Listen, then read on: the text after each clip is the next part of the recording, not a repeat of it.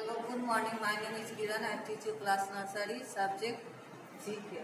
आज मैं आपको पढ़ाने जा रही हूँ राइट फाइव वेजिटेबल्स में। वेजिटेबल मीन्स क्या होता है? सब्ज़ी। सब्जियों के नाम आपको कॉपी में लिखना है और याद करना है। ये है टोमेटो टोमेटो मीन्स क्या होता है? टमाटर।